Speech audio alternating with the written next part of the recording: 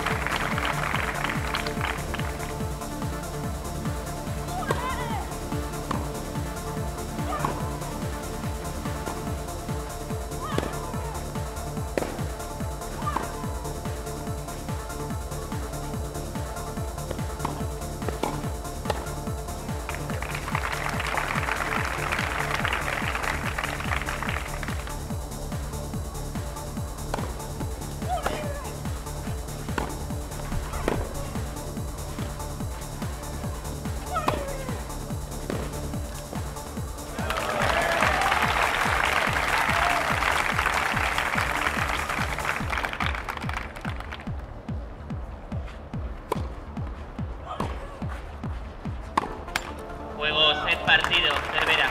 Dos sets a cero, 7-6,